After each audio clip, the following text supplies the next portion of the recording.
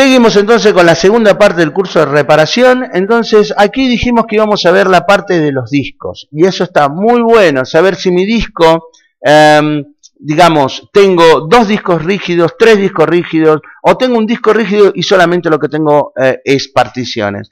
Eh, ¿Cómo hacemos? Eso obviamente se lo voy a enseñar a identificar ahora. Pero primero necesito saber cuánto es mi disco y obviamente cuánto lugar tengo en el mismo. Para eso voy a hacer doble clic en mi PC. Cuando haga doble clic sobre mi PC se tiene que abrir una ventana. También lo puedo hacer con el botón derecho y ir a la opción donde dice abrir, que es absolutamente lo mismo. Aquí voy a ir viendo alguna serie de iconos, que en este caso me va a decir que tengo la unidad C, la unidad D y la unidad E que puede ser que tenga tres discos rígidos. Obviamente, ustedes saben si no, profe, debe ser uno con otras dos particiones. Claro, porque tenemos una notebook. Ahora justamente lo estamos laburando con una notebook. Y tres, yo no he visto notebook con tres discos rígidos, excepto que le ponga discos rígidos externos. ¿No? O sea una notebook más grande que tenga la posibilidad de meter aunque sea dos discos rígidos. Pero eso lo podemos identificar y es fácil de identificar. Ustedes dirán, sí, profe, la abrimos y listo, nos fijamos. No, no, no. Hay otra forma sencilla desde el mismo software, del mismo software del sistema operativo. Bien, pero primero vamos por parte, por ejemplo, aquí, con la letra de la unidad C. Que la unidad C obviamente es la más importante porque es aquí donde va el sistema operativo. Las otras generalmente son de respaldo o resguardo para guardar datos. De hecho, fíjate que hay una que tiene una palabrita que dice data. y generalmente yo les, aconsejo a la mayoría de mis alumnos que ahí cuando creen las particiones de, lo que es eh, para el resguardo de datos, siempre, siempre le digo que la mayoría de la partición sean justamente las de las adicionales. No que me hagan una super partición para C y le pongan poquita partición para D, porque si no los datos obviamente se van a guardar acá. Primero, para que quede bien claro, ¿para qué se particiona un disco? Por ejemplo, si vos tenés solamente una partición, como vienen las computadoras de fábrica, vienen con una partición, no vienen con dos. Por ahí vienen con dos, en el caso para el resguardo de cuando vos tengas algún problema en la computadora, puedas levantar el sistema operativo, pero no me voy a desplazar netamente en eso. Simplemente te vienen una, bien, bárbaro. Resulta que vos empezás a cargar todo, cargas mis músicas, mis documentos, mis imágenes, mis downloads, que es descarga, mi todo, bárbaro, empiezas a guardar, guardar, las compu después te empiezan a dar lenta, la compu se te llena de virus, la compu ya estar como para, viste, agarrar y decir, mm, computadora, por favor, quiero una nueva, y no es así, ¿me entendés? Porque claro, vos la sobreexigís y después obviamente tenés los resultados, ¿sí? ¿Qué pasa? Vos la llevas al técnico, obviamente porque por ahora no sabías nada, la llevas al técnico, el técnico te va a formatear el equipo, o sea, ¿qué va a hacer? Va a limpiar todo el equipo, va a cargar todo de vuelta y todo lo que hay ahí te lo va a borrar. Porque al tipo no le interesa la foto de las vacaciones tuyas de Mar del Plata, la música que bajaste y las películas que tenés y los juegos. No le importa absolutamente nada. Al tipo vos le pagás para que el tipo te, entregue el equipo en condiciones como cuando recién salió de la fábrica. Entonces lo que hace es se formatea. Se formateó, listo. Toda tu información al piste, excepto que un técnico vaya, te agregue un disco rígido externo, nosotros recién teníamos uno por acá, muchas gracias. Por ejemplo, vamos a enchufar ahora un disco rígido externo, ahí, y van a ver que ahora aquí o por estos lados más o menos va a aparecer ahora una nueva unidad, de hecho, con un montón de cosas más, fíjate, porque como puesto como si fuese un pendrive. Siempre cuando los chicos del primario me preguntan, que por ahí no están muy empapados, los más chiquitos, profe, ¿qué es eso? Piensan que es un celular. Y en realidad le digo, no, esto es como un pendrive gigante, como para que entiendan, estamos hablando de los chicos más chiquititos, ¿no? Segundo grado, tercer grado, no los grandes. Los grandes ya saben que es un disco rígido. Ah, ¿y, para qué es? es? ¿Vos qué guardás en el pendrive? Le digo, y música, foto. Bueno, lo mismo, pero muchísimo más información. Ah, y se quedan tranquilos. Bueno, acá por ejemplo, todo técnico tiene que tener un disco rígido, obviamente. ¿Para qué? Para que en este disco rígido externo, si el cliente obviamente te paga adicionalmente para que vos le, digamos, extraigas toda la información antes de formatear, Bueno, entonces obviamente va a ser un dinero extra, ¿por qué? Porque es mucho más tiempo, vos te tenés que tomar el tiempo de vacapear todo y sobre eso todo si es mucho, después eh, escanear todo eso para ver dónde estaban los virus, eliminarlo y después volverlo a volcar todo en la computadora y demanda de mucho tiempo. Por eso a veces el backup directamente ni se lo hace, porque el técnico pierde mucho tiempo y en lugar de hacerte eso, el tipo arregló tres computadoras más, ¿verdad? Pero bueno, como ustedes recién van a empezar, obviamente por ahí les conviene y obviamente son unos pesitos extras también, quedan bien con el cliente, bla, bla, bla y todo eso. ¿Sí, chicos? Hasta acá estamos bien. Entonces se crea una carpetita y se pone toda la información ahí, se lo va copiando carpeta por carpeta, en donde obviamente ya tengamos la posibilidad de que cuando saquemos el disco rígido podamos llegar a formatear, porque toda la foto de las vacaciones de esta persona, que es lo que más quería, porque la música la va a recuperar, las películas las puede recuperar, pero las fotos de las vacaciones no aunque hay un programa, después hay varios programas que se pueden recuperar datos perdidos y eso está muy bueno también para unas futuras clases. ¿sí? Eso está muy bueno y se paga muy bien por eso, ¿eh? así que eso también lo van a tener presente. Bien, ahora, una vez que yo ya tengo esto, obviamente tengo que sacarlo. Y de hecho un consejo que la clase pasada me habían dicho que algunos no sabían, y obviamente hoy lo van a aprender y si no, los, no, no se acordaban, ahora también lo van a refrescar.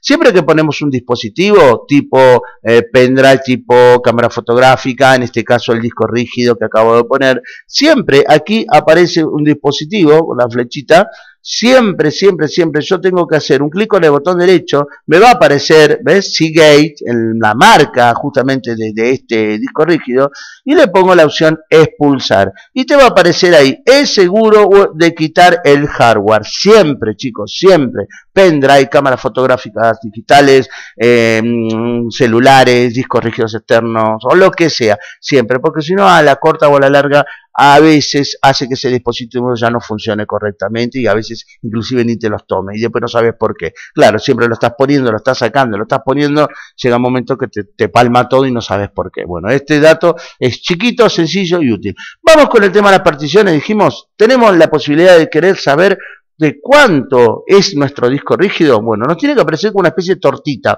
una tortita gráfica, un gráfico, un gráfico de torta en donde tenemos dos colores, ¿sí? Y en esos dos colores nos va a decir la capacidad de lo que tenemos utilizado y de la capacidad libre. Esto generalmente lo hago en los primeros años de los colegios por ejemplo, que empiezo a trabajar por primera vez y no, no lo saben, porque mucha gente, o sea, a ver, vamos por parte. Uno cuando va a un colegio eh, enseña Office, enseña Windows, enseña lo básico, ¿verdad? No enseña esta parte técnica. Bueno, son todos los primeros años hago hacer esto como ejercicio. ¿Por qué? Porque obviamente tienen que conocer la parte también física, los componentes de la computadora los tienen que conocer, ¿entendés? O sea, este tipo de cosas a mi criterio lo tienen que, no porque sea técnico, sino porque lo tienen que saber, punto, ¿entendés? Profe, mi compu anda lenta, por la pregunta, bueno, bárbaro, anda lenta, eh, a ver, vamos primero al principal, la primera pregunta del millón, ¿cuánto, ¿cuánto es tu disco? No, no tengo idea, profe, no, entonces ya no puedo seguir preguntándote. Bueno, vamos, ¿sabe? ¿De cuánto es tu disco? 500 gigas, profe. Bárbaro. ¿Cuánto tenés usado y cuánto libre? No sé, profe, no, no tengo ni idea. Listo, no te puedo seguir preguntando. ¿Me entienden? O sea, esto es así. Ustedes tienen que jugar como un médico. Ustedes tienen que jugarla como el médico, de que si vos vas al médico porque tenés un dolor de cabeza, el médico te va a empezar a hacer toda una especie de testeo para que vos pueda, eh, para, para que él pueda saber a dónde va a apuntar y, qué es lo que te va a medicar. Eh, vengo con un dolor de cabeza, doctor, terrible. ¿Qué comiste esa noche? Eh, no, no, no me acuerdo que comí, claro, ¿viste? ¿Cómo no te acordás que comiste anoche? Y bueno, ¿me entendés lo que te digo? O sea, vos tenés que ir dándole data al médico como para que eh, comí, bueno, no, ¿sabe qué, doctor? Me comí seis huevos fritos. Y claro, seis huevos fritos, papá frito, claro, tenés una patada de hígado terrible. Entonces, ya das un diagnóstico para que el tipo te pueda, en este caso, medicar. Bueno, acá lo mismo. Profe, sí, la tortita, eh, busqué su clase en internet, la busqué y tengo todo azul, profe, no hay nada rosa. Ahí está el tema, ¿por qué las máquinas te están dando lenta? Tenés casi lleno el disco rígido, tenés que empezar a desagotar cosas, eliminar, demás, para liberar. Cosas que vamos a empezar a ver ahora, antes que me empiecen a hacer la tijerita del otro lado, como diciendo, profe, ya estamos dentro de los 10 minutos, ¿sí? Pasan rápido, ¿vieron? Pasan rápido, rápido. Ahora, ¿qué pasa? Obviamente, vamos con botón derecho y vamos a la opción donde dice propiedades.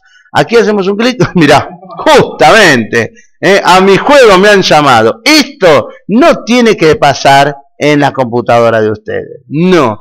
Generalmente un 50%, 60%, 40, 70 como para, viste, ahí. Pero no, esto no, esto ya es, es malo. ¿Por qué? Y, por, y ahora me explico porque a veces mi Intel i7 que tiene que ser un misil, a veces anda recontralento y claro, bajale un poco de cosas, profe. Bajale, borrale cosas porque... ¿Viste? Menos mal que no se escucha, por ahí se escuchó y sale. Pero bueno, no importa. El tema es así, hay que sacar la información. Hay que sacar la información porque si no logramos tener esto. Fíjate que acá, en este caso, por ahí voy a decir capacidad, 178 gigas. No tiene 178 gigas mi disco. Eh, es la partición C que tiene 178. Y aquí tenés la, posibilidad de saber que lo utilizado tenés de los 178, 170 175, zarpado mal el profe, ¿no? En información, mira. 175 gigas usado. Y lo libre, 3 GB con 14. Obvio, que si acaso quiero quemar un DVD, por ejemplo, grabar un DVD, y quiero, no, no, no lo voy a poder hacer. Si está direccionado el negro para crear la imagen acá, no lo voy a poder hacer. Porque un DVD por lo menos no menos de 4 GB tiene. Y va a querer hacer la imagen en un lugar que tiene 3 GB, listo, ya no puedo grabar DVD. Y ahí la pregunta, profe, no puedo grabar DVD, ¿por qué? Y bueno, tenés que testear esto. Haces borrar y vas a ver las cosas y vas a ver que vas a poder. Bien, vamos a las otras particiones como para ir redondeando y después entrar más profundo con la parte número 3 en otra cosa. Botón derecho dijimos propiedades. Acá ya, bueno, tenemos un poquito de respiro. Tenemos otra partición de 100 gigas. Acuérdense en el total de gigas para más o menos calcular de cuánto es este disco. ¿eh? Si no se acuerdan, vamos de vuelta. Botón derecho sobre la unidad C, vamos propiedades, acuérdate, 178 gigas. Vamos con D, botón derecho y vamos a la opción propiedades. Acá tenés una partición de 100 gigas y dentro de 100 gigas 74 gigas usado, 34 gigas libre. Ahí zafa.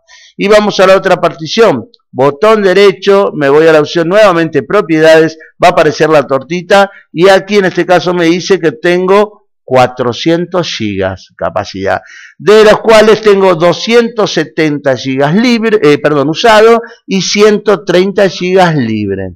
Más o menos sacaron el cálculo de cuánto es mi disco. Chan. Eh, los agarré, ¿qué pasa? Están dormidos todavía, estamos llegando a la 10 de la mañana. Cualquier momento se viene el desayuno. ¿eh?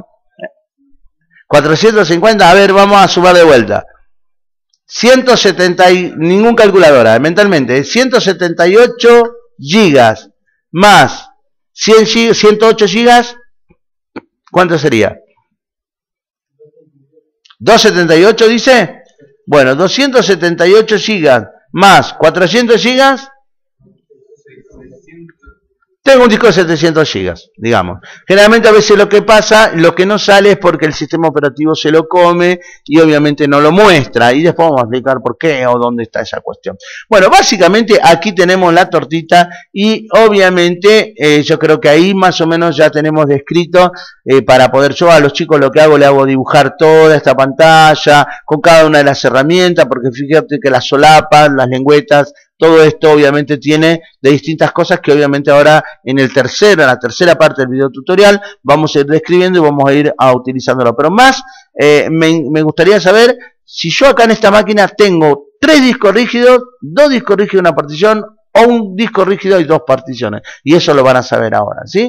Bueno, entonces vamos a cortar la segunda parte de este video tutorial.